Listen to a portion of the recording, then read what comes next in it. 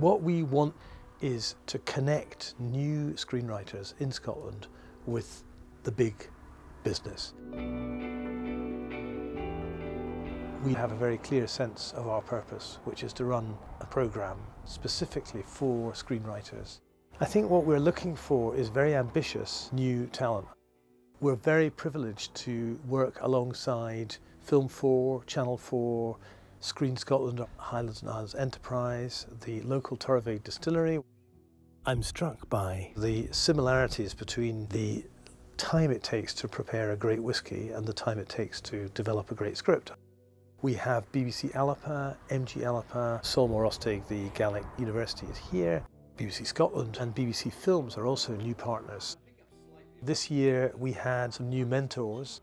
We also had a new round of participants. Young Films Week has been a massive journey, much bigger journey than I thought it would be. Just a whirlwind of ideas, lots of presentations and uh, lots of feedback.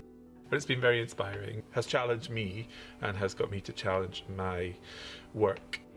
Chuir mi tor feedback agus ruta bheith sé súach sé charó crí scialach tíach agus bheith cús dollarard.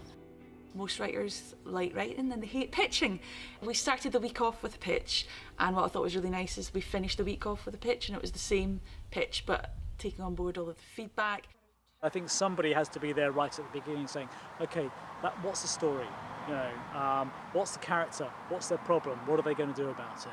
Any scheme which brings together screenwriters has remarkable potential and you infuse their ideas with depth and complexity and sometimes more clarity, hopefully.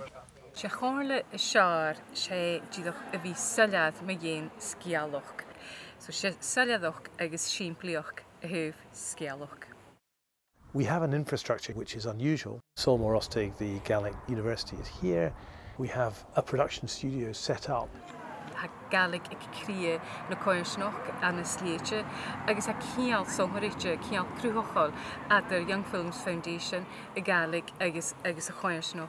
We can take our projects straight into a machine that's actually making TV drama. I was looking forward to getting in the studio with my script. Yeah, it was great to remind myself of what it takes to transform these words into something alive. We were doing some direction. Um, I just realised just how much is involved. It's hugely beneficial being the director. I, I learned so much from it. And I felt like I was learning a new language on the spot. We had an editor on site and we cut the scenes that were shot and had a session where we could actually go through the edited scenes. Skye is absolutely at the heart of the residency. It's all about bringing the world to Skye, allowing new talent to connect with the wide world. Bringing them to somewhere as exquisite as Skye creates an atmosphere, it creates a sense of trust, and it creates those bonds and that frankness of conversation and that flow that is completely invaluable and completely unable to be replicated in a one-to-one -one meeting. One of the great things about the residency is that people talk truthfully about their experiences, and that's quite rare. Where we've been very lucky is to have a very high quality range of mentors. I think it's just access to like people who work in the industry and how it works at, at a professional level. There's very senior people here, and they, you know, they they've done this like day in and day out for years. Well, it's an incredibly immersive experience for everyone, not just the participants, but all the people who are working with them. I mean, it's a fantastic and varied bunch of people. It's very egalitarian, so there's no sense of us and them, and everybody sits around together and, and, and learns together. Having the chance to be exposed to a lot of different people from a lot of different backgrounds, I think, is useful no matter where you are on the kind of career path.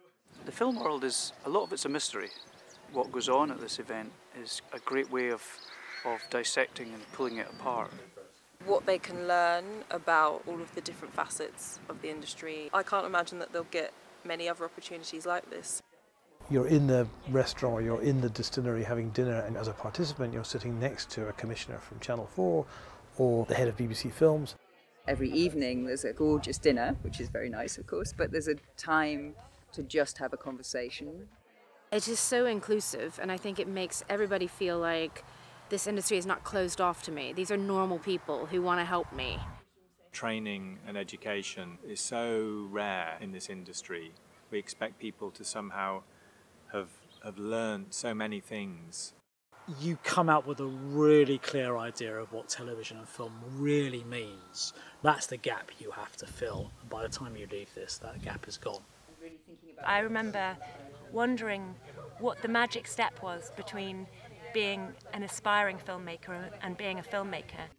I've been really struck by the question of proximity and what that does to an industry and what that does to the opportunities of up and comers. So, opportunities are literally on the doorstep of young filmmakers and TV makers in London aren't as available in Scotland. My advice in terms of applicants would be think really hard about the project you want to bring because the likelihood is it's going to be interrogated from every angle. If we're to make a success of the film and TV industry in Scotland, it's got to come from the talent. It's about helping people to uh, develop and be nurtured here and to stay here. There's a very strong feeling I have that in Scotland there is not enough connection between the talent and the money. If I can do one thing, it is to connect talent to money.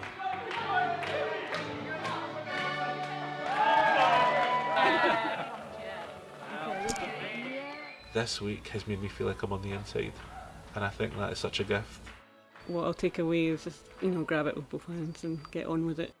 You're able to make the best of the time for you. It's all been such valuable time and I thoroughly recommend it.